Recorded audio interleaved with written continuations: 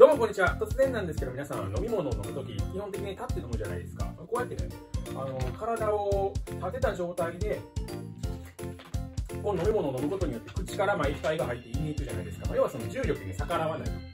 なんですけど、この前ちょっとね、気になる記事を見つけたんですよ。それが、なんか、逆立ちしながらでも、まあ、要はその飲み物を飲めるみたいな記事を見つけたんですよね。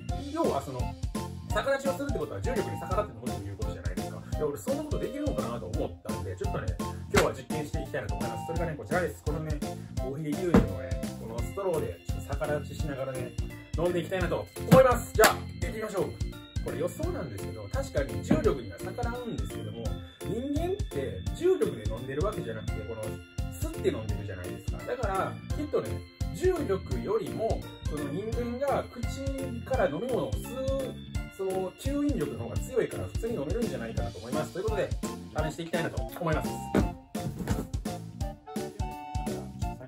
っていきたいと思います。こちらのコーヒーですね。これをちょっと開けていきます。よし。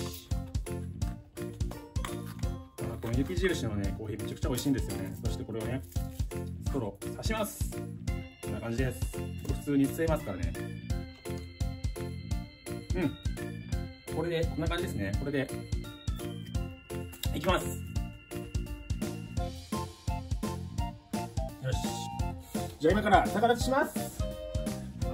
大丈夫かなこれ。うわきついよ。いきます。ちょっと待って下からち。久しぶりすぎて怖い。あちょっと待ってちょっと待って。やばいわこれ。ちょっと勢いつけます。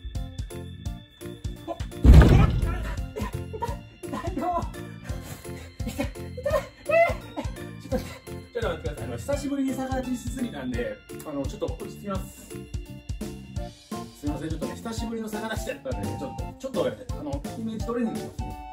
よし、よし。大丈夫です。いきます。それでは、いきます、今から。逆立ち、一気飲みチャレンジ。レディゴー。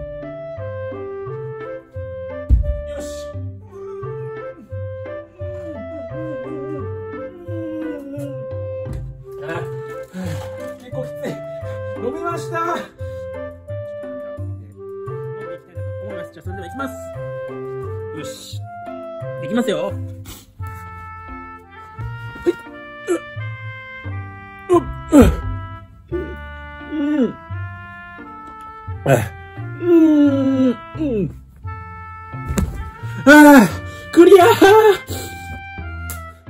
まあ、こんな感じでしたら。なんとかね、コーヒー牛乳を逆立ちして飲むことができました。おめでとうございます。ということでね、ちょっと感想なんですけど、正直ね、鼻の中に、なんか鼻水が詰まってるっていうか、多分逆汁はしてないんですけど、なんかね、鼻がちょっと、なんかムズムズする感じです。あとなんですけど、なんかね、ものすごいくしゃみをしたくなるような感じなんですよ。要はその逆立ちしてコーヒー牛乳を飲むことで、その鼻の、ね、どっかの部分を刺激して、それによってね、くしゃみをしたく正直ね、あまりおすすめはしないです。まあ、あのうん、そうですね、おすすめはしないですね。ぜひとも皆さん、コーヒー牛乳は逆立ちせずにね、立ってるようにしてくださいね。ということで、そんな感じです。